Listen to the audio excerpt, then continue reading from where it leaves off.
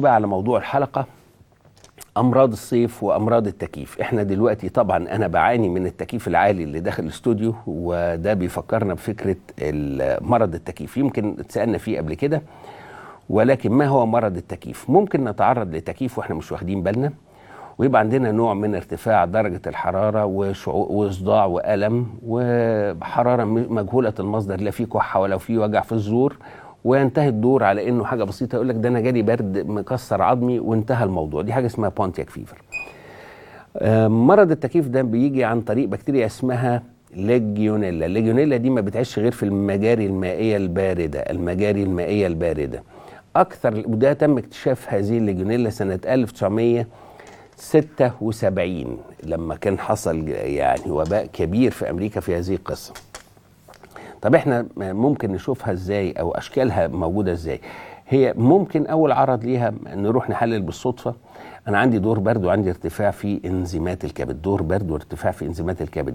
كحة وجع في زوري وارتفاع في انزيمات الكبد خلل في وظائف الكلى أحيانا. آه، دي حاجات نادرة لكن ده بيحصل الحقيقة. بالصدفة بنقابل هذا الكلام. الطبيب ال- يعني المتمكن بيقدر يفهم هذا الأمر بشكل واضح. لكن الشكل التقليدي لهذا المرض مرض التكييف صداع آه، ارتفاع في درجة الحرارة وجع في الزور كحة وإسهال كحة وإسهال مغص في البطن وإسهال.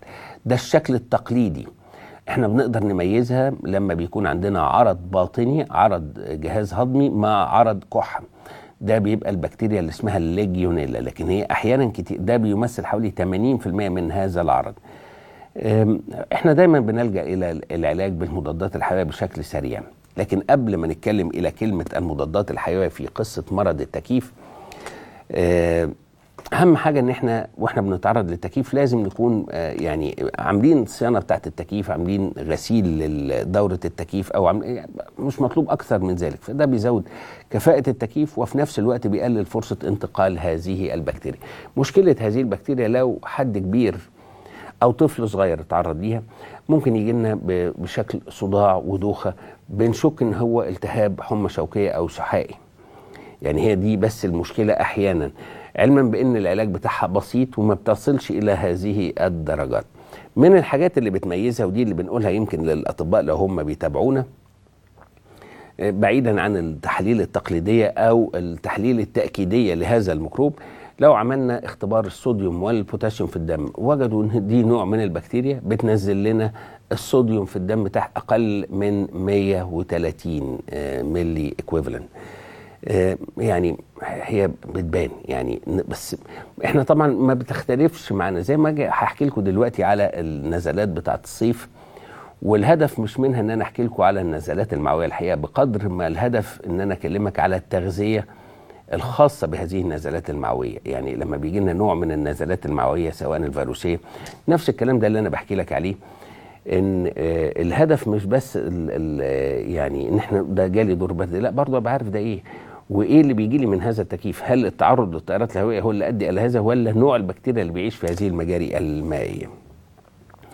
آه، نفس الفكرة اللي هكلمكم فيها دلوقتي آه، أمراض الصيف اللي هو كان فكرة آه، أمراض الصيف تقرحات يعني لو قدرنا طبعا نتواصل وقت الحلقة كافة آه، هنقدر نتكلم على هذا الأمر.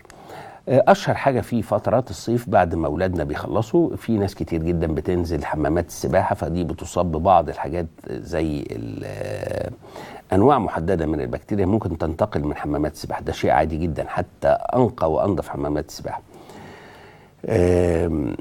ملهاش علاقة بشيء ما. يعني لكن في أمراض طبعا بتنتقل في حمامات السباحة اللي هي غير مجهزة أو غير نظيفة لكن إحنا بنتكلم على إن إحنا مفترضين كل الأشياء الحسنة.